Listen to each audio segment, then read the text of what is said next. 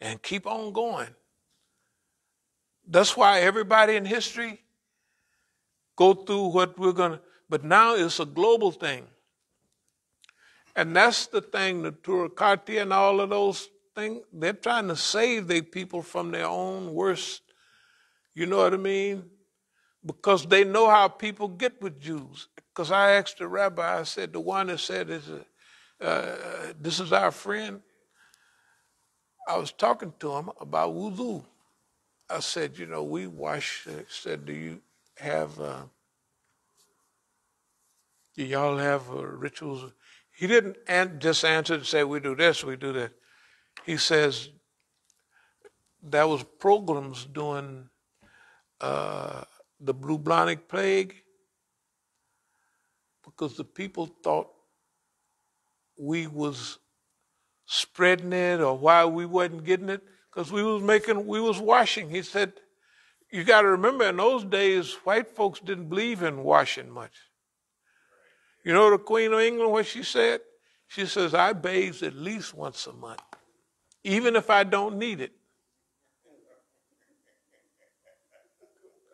I mean i'm imagining that was a purification bath after uh, can you imagine the gag? You ever s- smelt Euro's body stuff? Gagging. I mean, it's a long story. It couldn't happen to us because we go to Juma once a week. We got to bathe. Those people didn't bathe. If they fell in the water or something like that, Sure. But uh, but just to now the Romans did they bathed and all that. The Romans were civilized. Romans had baths and hot tanks. They they they bathed. But Euros, real Euros. See, the, Romans is Mediterranean. Uh, they Euros. I ain't gonna get into that big dialectical who's who. Uh, but are there any more questions?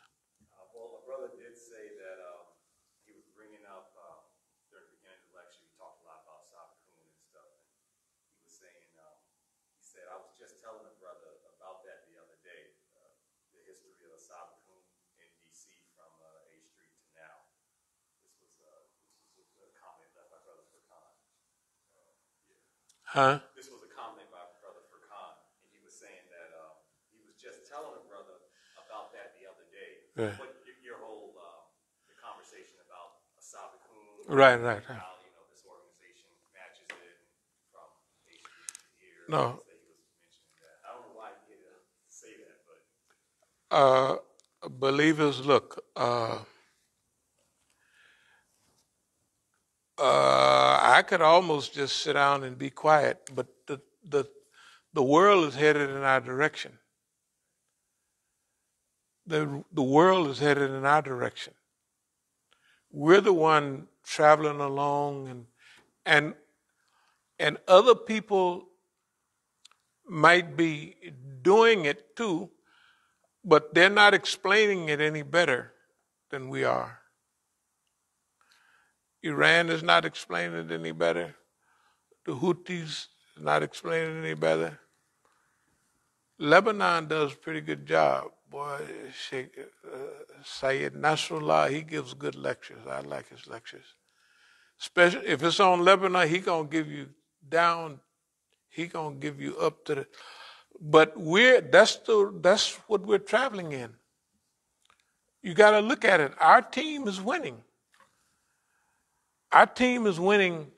Our team is suffering, but the suffering is purification because to do what they're doing, they have to become kind of purified.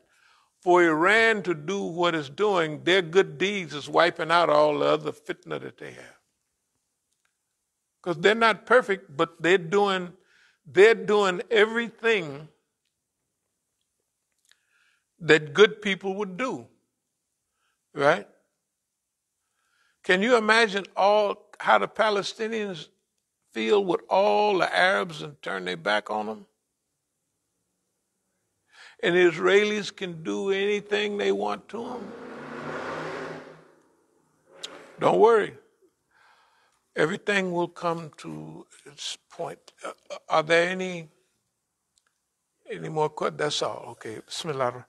ربنا لا تزغ قلوبنا بعد إذ هديتنا وهب لنا من لدنك رحمة إنك أنت الوهاب ربنا آتنا في الدنيا حسنة وفي الآخرة حسنة وقنا عذاب النار اللهم أنت السلام ومنك السلام تباركت ذا الجلال والإكرام الحمد لله رب العالمين.